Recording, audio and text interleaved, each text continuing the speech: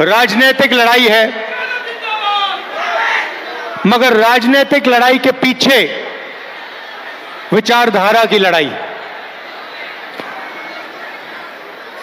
Congress party और India गठबंधन, ये जो अंबेडकर जी का संविधान है, इसको आप अच्छी तरह देखिए। ये जो संविधान है इसकी रक्षा करने का काम कर रही है, इसको बचाने का काम कर रही है।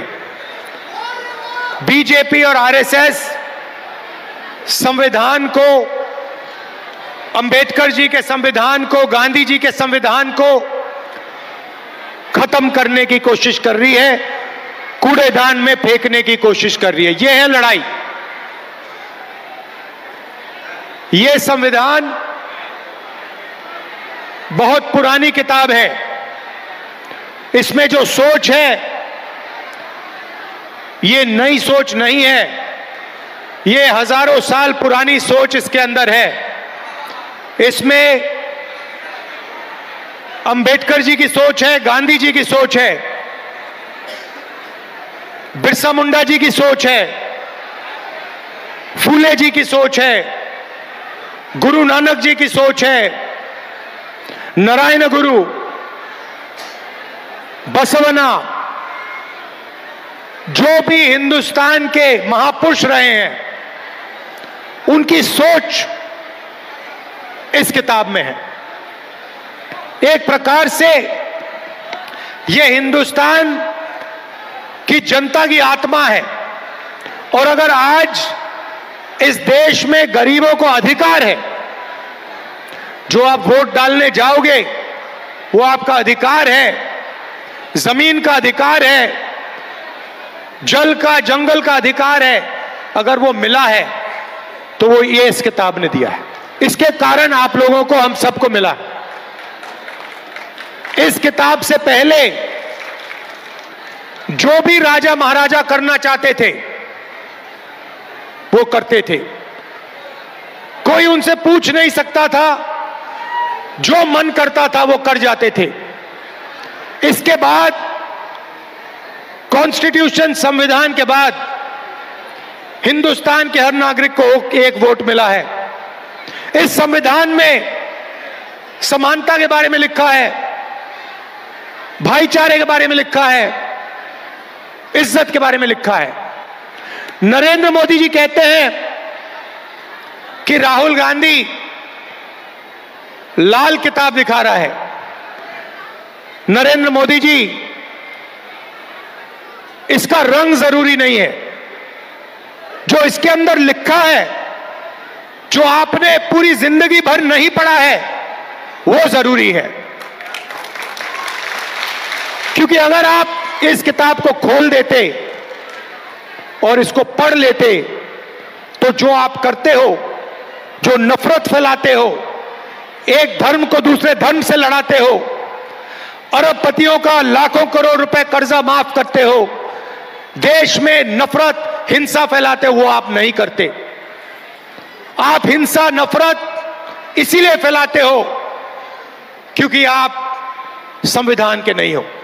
संविधान में कहीं नहीं लिखा कि हिंदुस्तान के एक नागरिक को दूसरे नागरिक से लड़ाई करनी चाहिए। एक नागरिक को दूसरे नागरिक की हिंसा करनी चाहिए। कहीं नहीं लिखा कि धर्मों को लड़ाना चाहिए, जातों को लड़ाना चाहिए, प्रदेशों को, भाषाओं को लड़ाना चाहिए। और यह काम बीजेपी और आरएसएस के लोग 24 घंटा करते हैं, बंद कमरों में करते हैं। ये देखिए, ये किताब खाली नहीं है। देख लीजिए, इस किताब में हिंदुस्तान की हिस्ट्री है। हिंदुस्तान का इतिहास है। भारत की आत्मा है। किसानों के सपने हैं, मजदूरों के सपने हैं। दलितों की रिस्पेक्ट है।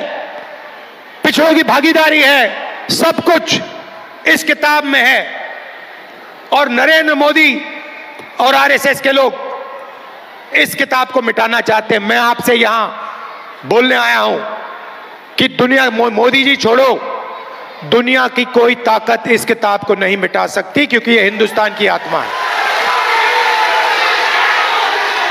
और अगर मिटाना है, अगर मिटाना है मोदी जी, छुप के मत कीजिए, सामने आ जाइए मैदान में और मिटाने की कोशिश कीजिए, फिर पता लगेगा आपको हिंदुस्तान की जनता क्या करेगी आपके साथ। हम नरेंद्र मोदी से डरते नहीं है। छप्पन इंच की छाती। मन की बात। इन चीज़ों से हम डरते नहीं है। नरेंद्र मोदी जी,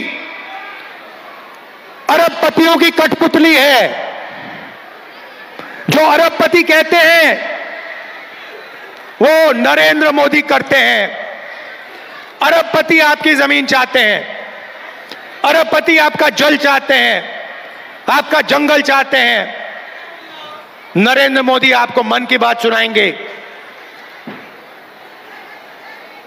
फिर अंबानी जी की शादी में चले जाएँगे।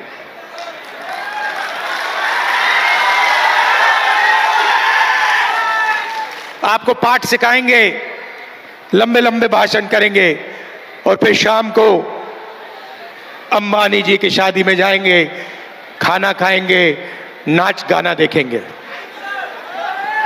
भाई और बहनों 16 लाख करोड़ रुपया 16 लाख करोड़ रुपया गरीबों का पैसा छीनकर नरेंद्र मोदी जी ने अरबपतियों का माफ़ किया है। महाराष्ट्र में चुनाव चल रहा है। वहाँ पे